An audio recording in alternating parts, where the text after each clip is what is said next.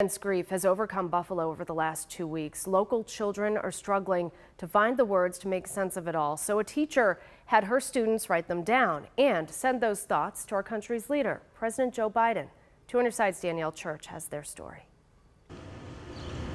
If you can hear my voice, clap on. Dear President Biden, 6, 12, 18, 24, 30. What comes next? if only math were the biggest worry for 10 year olds in Selena Borik's more. class. Oh. Some of my students live near that Tops. They go to that store. Omo LeBoy's parents shop there frequently. it's sad to see um,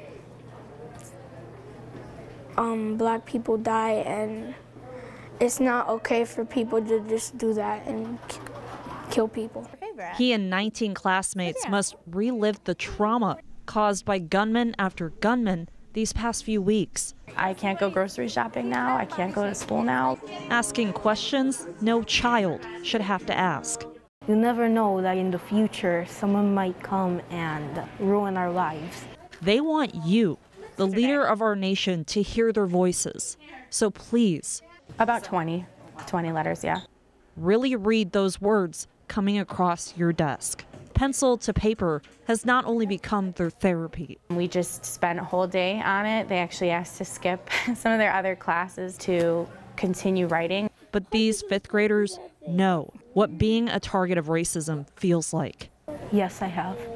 They need solutions. We can't solve all of the problems, right? But there's people that can. It gave them a sense of hope and a sense of um, power that they didn't have before we wrote them.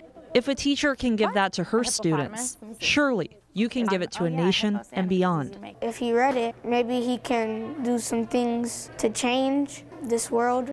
If we continue to sit by and let tragedy reign, It broke all of our hearts. No, no one deserves it. Teachers don't, students don't.